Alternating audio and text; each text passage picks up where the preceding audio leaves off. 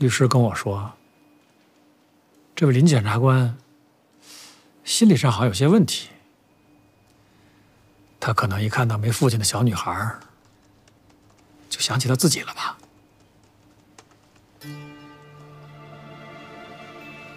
两百多万，够判无期的了。无期？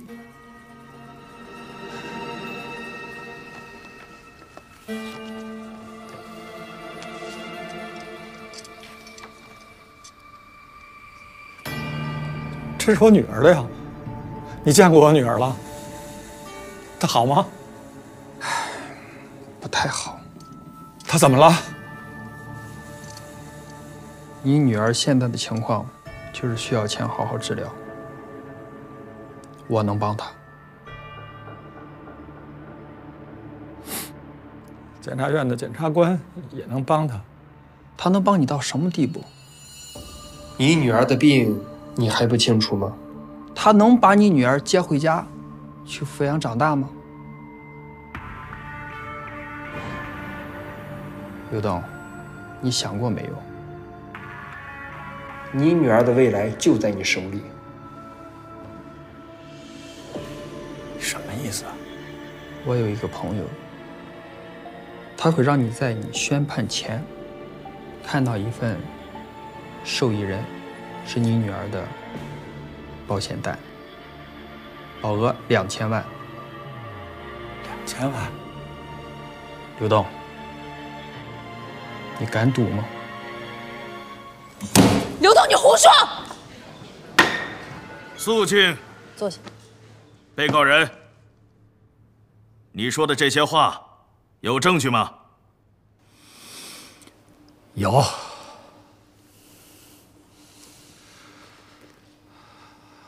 他经常去看潇潇，为了表示诚意，还把潇潇住院的医药费给交上了，还偷偷的给潇潇塞钱，买好吃的。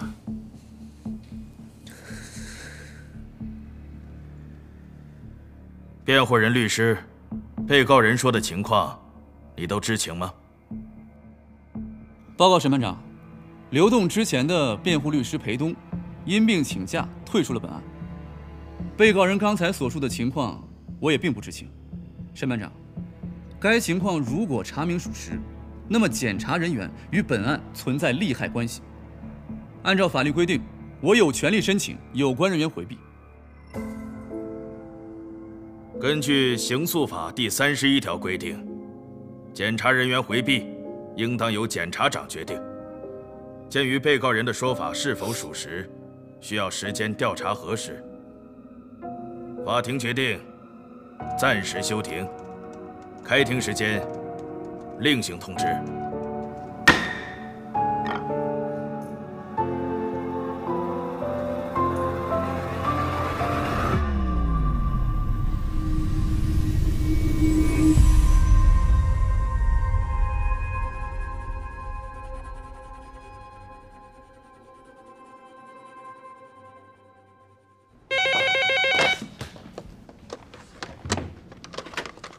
喂，哦，我是邱丽琴。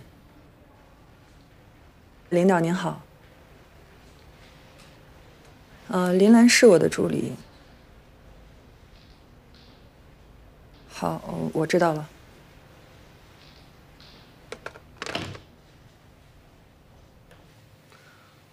林兰还在谈话呢。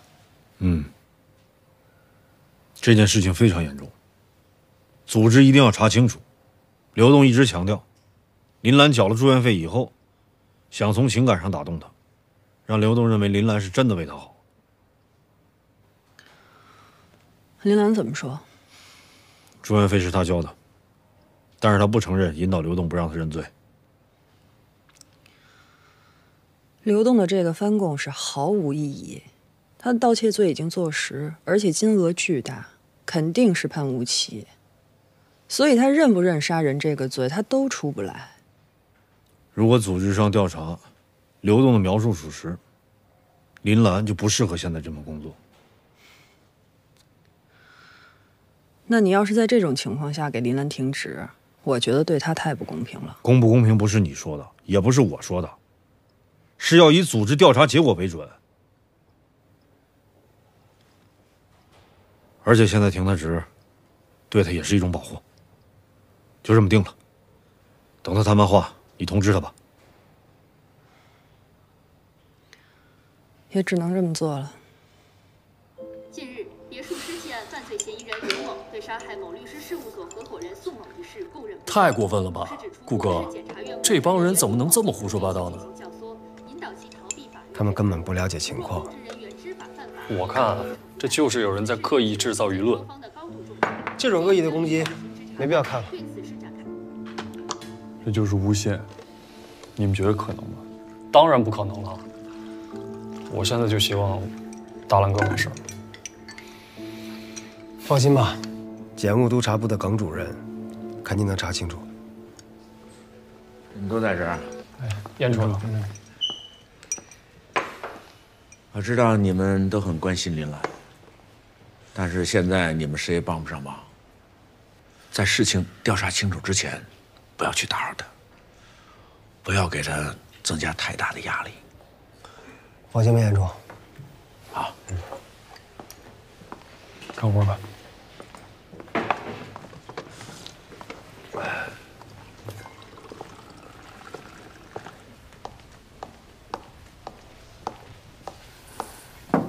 好了，哎，玉兰，进来。坐。燕初，你直接批评我吧，我知道是我自己做的不对。你有什么不对啊？是对弱者保持善意不对，还是被人恶意污蔑、自证清白不对啊？燕初，你相信我。坐下说。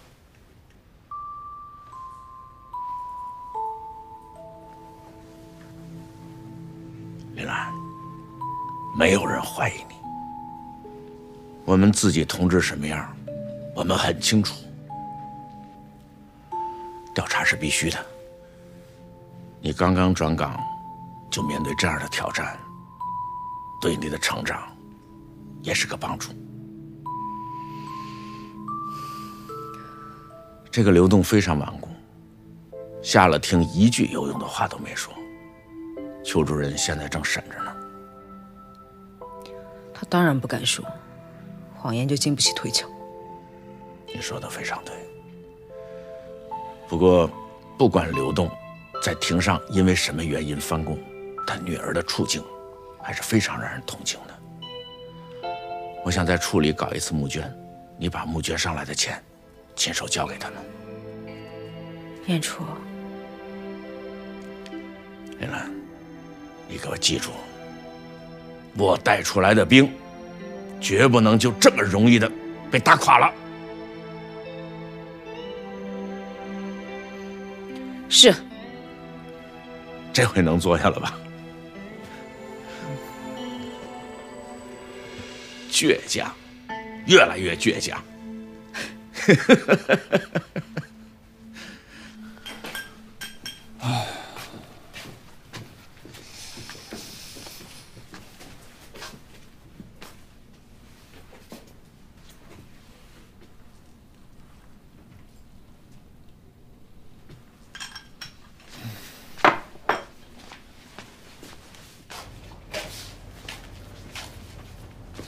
这心里要是有苦水啊，就倒出来，别憋着。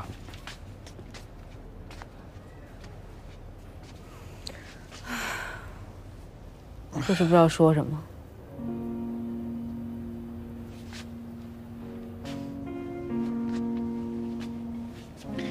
这样吧，我给你讲一个我倒霉的事儿，让你开心开心，怎么样？你觉得我学习好吗？嗯。学霸，哎，但是我差点肄业，真的。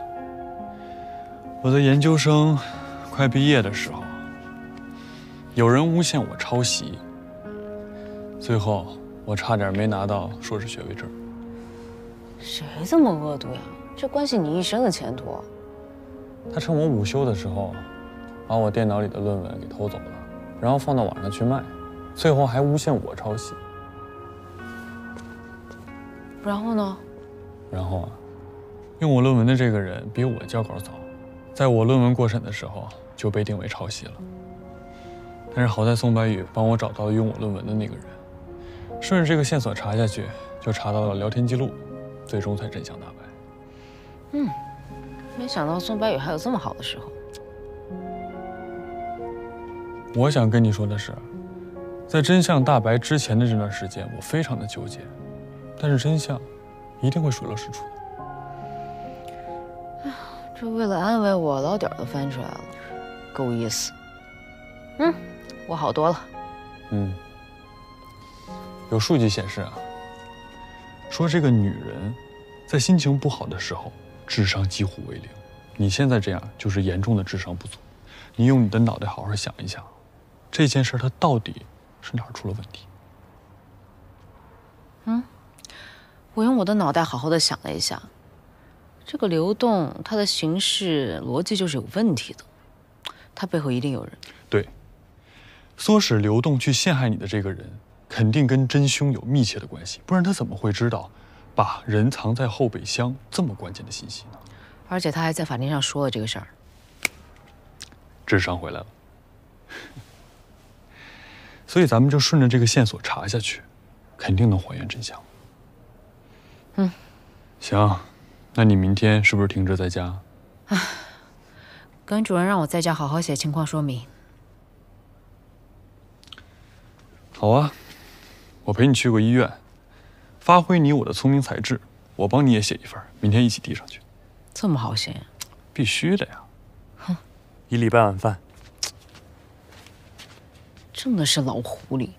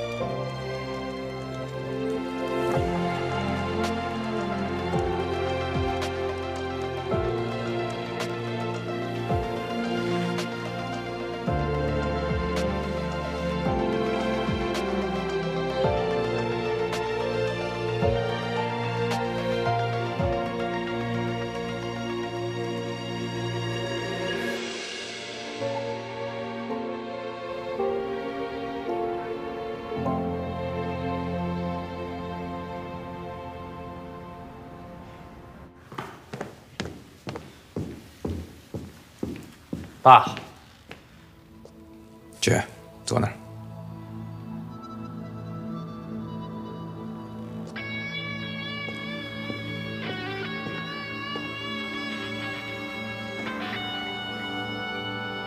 黑洞怎么回事？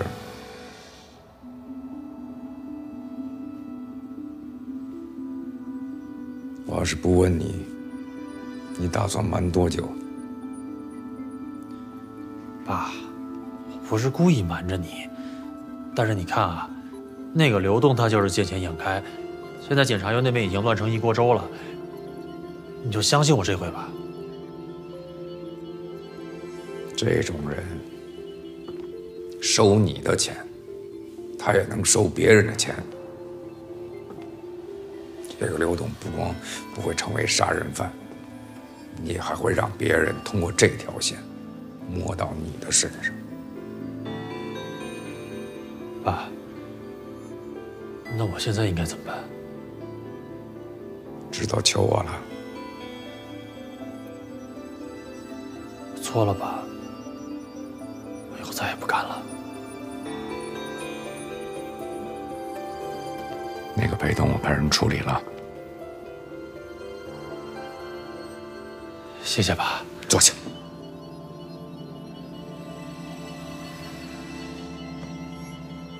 新月城那儿怎么样？哦，项目那边特别顺利，咱们那个剧场也都盖好了。今天公司宣传跟我说，说要搞个什么剪彩仪式，但是我不是想着咱们最近，所以我就说从简。为什么要从简？您不是说公安局那边盯着咱们？我是让你个人低调。公司在这种情况下应该越高调越好。知道什么叫清者自清吗？我知道了。你知道个屁！我赶紧跟他们联系，让他们重新策划，往大了办，往好了办。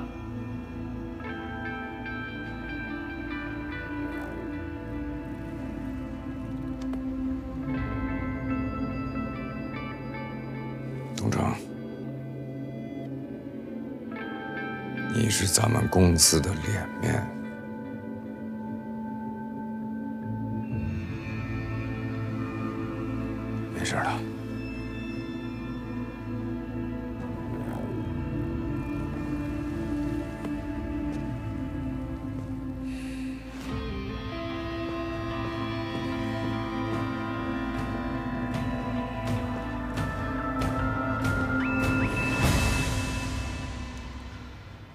林兰是我带的，她现在出事儿了，我一定要负这个责任。我会尽快给一个结果。好，邱主任，潇潇的事我也有参与，我也有责任，我会尽全力帮助林兰洗脱冤屈。我们跟刘栋之前的律师裴东了解情况，发现他已经出国了，根本联系不上。所以现在要换一个调查思路，你有什么想法吗？我想申请复查宋白宇最后开的那辆车，因为这个刘栋虽然亲口承认宋白宇是他杀的，但是对杀人的细节和过程却闭口不言。如果我们能找到一些细节，证明这个刘栋是完不成的或者做不到的，就能攻破他的谎言。好，我们分头去找。好。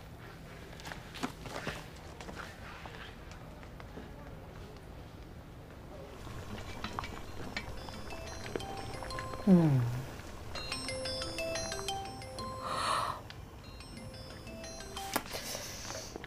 呃，姑姑啊，哎兰兰，姑姑呢打电话是要恭喜你，你不是跟我说你是第一天上庭吗？怎么样啊？是不是特成功？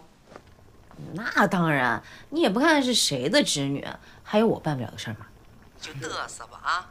不过我的侄女这么优秀，做什么事情都是。啊，姑姑，我正在煲鸡汤，我给你看啊，你看。你今天不用上班吗？我，我轮休啊！我这不是大病初愈，大家都喊我要好好休息吗？哎呦，你是难得听人劝，这样做就对了。行了，姑姑不打扰你了，赶紧做你的鸡汤去吧。哎，对了，用火注意安全啊！嗯，知道了。姑姑，你也照顾好自己啊。拜拜，拜拜。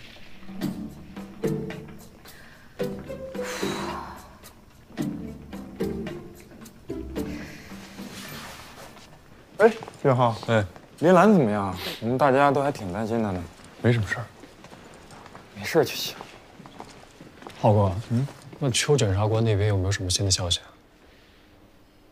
公安复查了宋白宇开的那辆车，在车上发现了毛发纤维，是人造假发，金黄色的。哎，那刘栋之前不是说看见一个戴金色假发的女性开了宋白宇的车？那这事可能是真的。证据还是不够硬。邱检察官说会找刘东再谈谈，你们也别太担心了。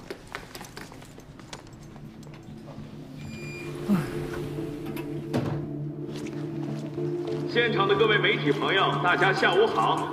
欢迎大家来到东韩集团星光剧院的开业典礼。接下来有请公司负责人赵东成先生给大家致开幕词，大家欢迎。说说吧，为什么杀宋白宇啊？那天我偷完东西，刚要走，我看见一个男的，大高个儿，得有一米九几，我以为他要抓我。嘿，他回头看了我一眼，笑了笑，我更毛了。我从包里掏出了随身携带的铁棍子，我照着他后脑袋，当当当就两下。我们东韩集团旗下的星光剧场是一个纯公益性质的剧场，旨在传播艺术，回馈社会。然后呢？后来他就躺地下了，我正好看他手里有把车钥匙，我被人发现，我就把他拖出来了。到了他车那儿，我打开后备箱，哎呦，我一看，后备箱里还有一人，这个跟我没关系啊。我一想，事已至此，干吧。我们东韩集团决定以星光剧场的名字成立一个星光基金，剧场的全部收入都会用来帮助患有白血病的儿童，免费的为有困难的家庭提供医疗支援。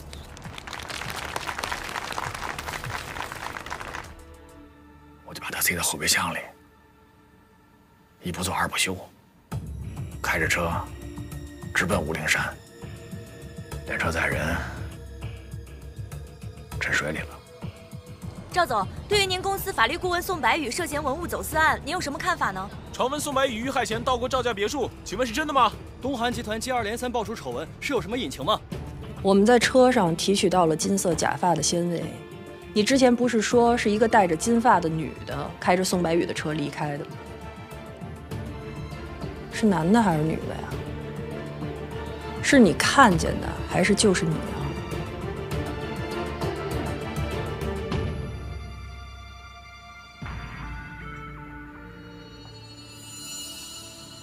是我，假发哪儿来？车里的，还有时间戴假发呀？伪装呗。假发呢？扔了。对不起啊，各位，今天是剪彩仪式，其他问题不予回答。赵总，赵总，赵总，赵总，对于文物走私案，你有什么看法？赵总，赵总，我是司法的少年，就此是做一个解释。解释一下吗？赵总，赵总，好，好，好。我非常理解大家的心情。来，可以提三个问题，请。据说您位于金海湾的别墅正在接受公安调查，请问此事是否属实？赵总，入室抢劫的盗窃犯承认杀害了嫌疑人宋白宇，这件事仅仅是巧合吗？东韩集团是不是涉嫌文物走私案？好，我来回答大家的问题。你是几点钟开着宋白宇的车从别墅到乌灵山的？具体时间我没看。会开车吗？会啊，我原来干过货运，开了好几年车呢，老司机了。怎么了？几点到的家？几点到的家？反正我到家的时候天都快亮了。怎么回去的呀？车都沉塘了。我走在半路上，正好碰上一辆车，他也回城里，捎了我一段。都给你编好了吧？你要不信，我也没办法。首先，东韩集团目前正在积极的配合警方进行各项调查，相信调查结果出来之后，警方自然会向大家宣布。其次呢，我相信各位都是专业的媒体人士，一定不会去道听途说、偏听偏信。要知道，我们东韩集团一直以来都是为社会服务。为百姓服务的这么一家公司，我们过去是这样，今后也同样会如此。坐，坐，坐，坐，坐，坐，坐。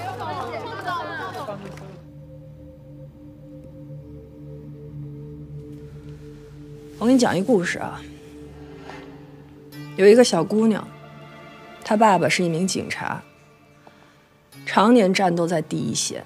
没有时间管家里，他老婆也因为这个事儿就跟他离婚了。他一边工作一边把这个小姑娘拉扯大。就在这个小姑娘十四岁那年，他因为办案意外离世，我们到现在也没有查清楚他死亡的真相。这件事情就成了这个小姑娘的心结，也成为了她的动力。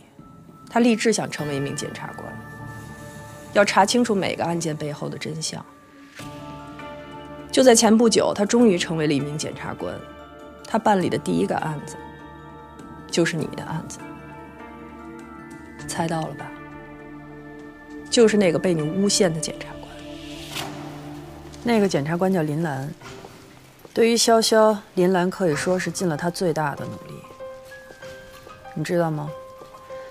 那天庭审过后，他回到检察院的第一件事就是召集单位里的同事给潇潇筹集医疗费。尽管几个小时前你刚刚在法庭上诬陷过他，他说因为他相信潇潇，所以也相信你真的是个好父亲。别再说了。但是刘栋，你要知道，做一个好父亲，绝不仅仅是给孩子留足够的物质那么简单。我们每个人都在努力让潇潇的心中充满爱和希望，可你又留给他什么了呢？刘栋，如果你真的想做一个好父亲，你现在还有机会。林兰有句话让我带给你，他说无论什么原因你诬陷他，他在心里都选择原谅你，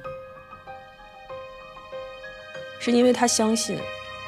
你所做的这一切，都是出于一个父亲对女儿不得已的选择。你别说了，杀人罪和盗窃罪可不一样。盗窃罪你起码还能留条命，你女儿还有个盼头。你有没有想过？说了，你要是死了，别说了，你女儿怎么办？我错了，我错了，我他妈就是一混蛋，我不配当个父亲。我更不配做孝顺的爸爸。我说实话，我从现在开始说实话，我开始都是撒谎，都是在撒谎。我根本就没有杀宋白宇，我没有杀他，都是裴东，裴东这个王八蛋用我女儿威胁我才让我这么说的。裴东这个王八蛋，他就利用这一点恐吓我，威胁我。我一定说，我全说实话。好，刘栋，那你现在把事情的来龙去脉说清楚。大家过来一下，告诉大家一个消息。哎，怎么了，顾哥？刘栋全招了，他承认自己诬陷林兰。我就说嘛，太好了。同时，上级也宣布。林兰正式解除调查，随时可以归队。真的？哎，那咱是不是可以喊他回来上班了？哎哎哎哎，人好不容易歇两天，你着急喊他干嘛呀？他都已经迫不及待了。就是，燕初已经把消息啊告诉林兰了，我估计这个点儿应该已经在路上了。哎，我才几天没回来，你们就敢在背后说我坏话了呀？谁敢说你坏话？都是好话，坏话都是他说的。哎哎哎，我没说啊，我的意思是，大伙儿都等着你回来呢。哎，江你呢？啊，他去上边学习去了，算着时间，嗯，也就这两天回来。嗯，还是要谢谢大家，让我尘缘昭雪了。你最应该感谢的呢是远浩和邱检察官啊，一个是我领导，一个是我亲哥们儿，就不谢了。这接风洗尘啊，咱是不是得吃顿好的？行行，我请客。哎，不过你们赶紧给我说下最近的进度，我好投入工作。你看看说什么来着？工作狂又回来了吧？哎，说点正事儿啊，这潇潇最近又要化疗了，医药费怎么那么沉不住气啊？我们啊都准备好了，燕处带领我们几个发起了捐款。不光我们几个，整个检察院都积极响应，要以咱们韩江市检察院的名义捐赠出去。我们的都齐了，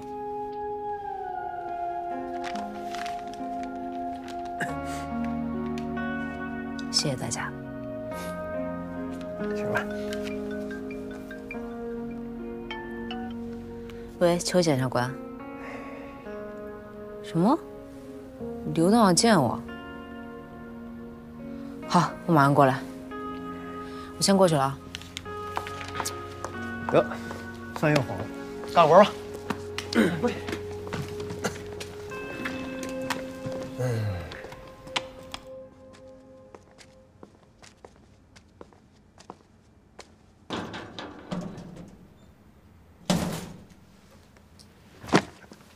谢谢，谢谢你们。我干了这么多错事儿，你们还对我这样。起来吧，你也别多想了，在监狱里好好改造，争取减刑。潇潇还等着你回家呢。您放心，我一定好好改造。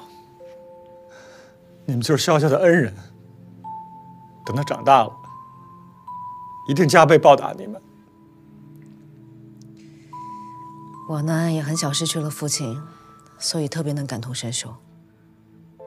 我想帮潇潇，也想帮你，但我帮你不是为了让你隐瞒，而是为了让你成为一个堂堂正正、值得女儿骄傲的父亲。我想，你现在做到了。等潇潇长大了，一定让他向你们学习，做个好人，做个好人。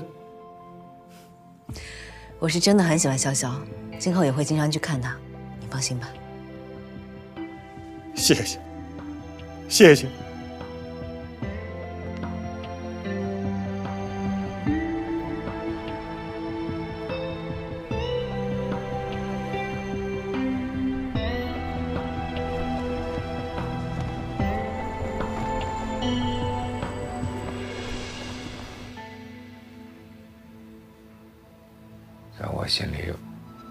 把你当家人。夫人对我有恩，她问我，我不能不说。不该说的，我一个字都没说。锦绣捡你回来那年，你多大？九岁还是十岁，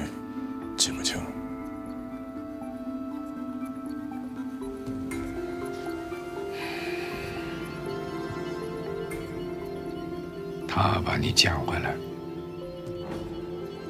但是我养大了你。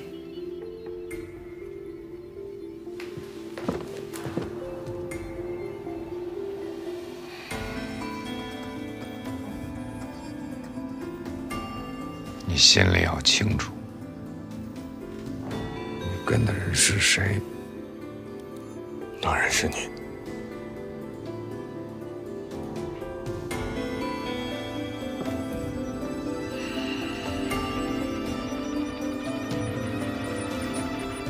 快点长大。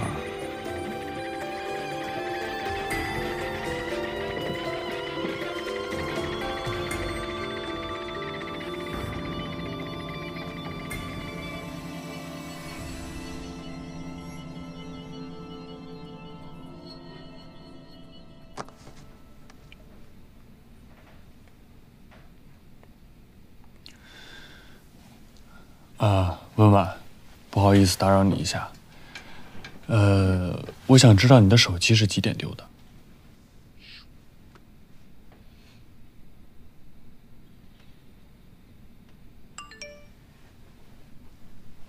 上午十点左右吧，在咖啡厅丢的。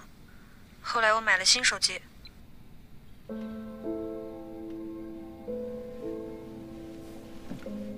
呃，那新手机是几点买的？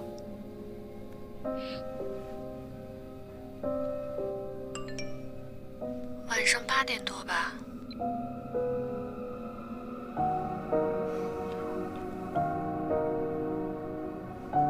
好，谢谢啊。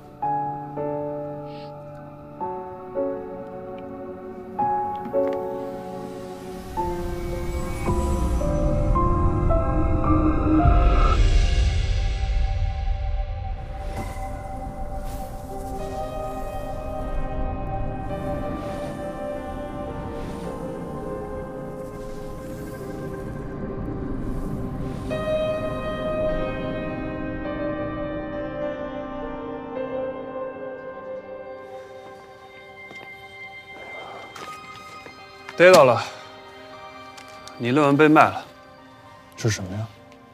买卖双方聊天记录，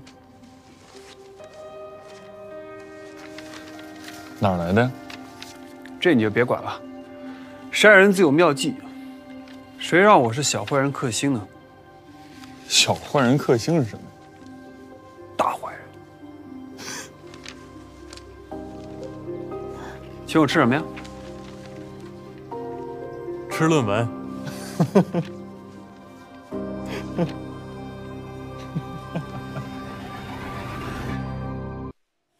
黑夜是想更深的必要。